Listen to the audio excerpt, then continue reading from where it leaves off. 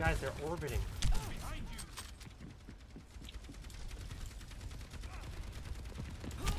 No, be careful. You have a shield. Oh,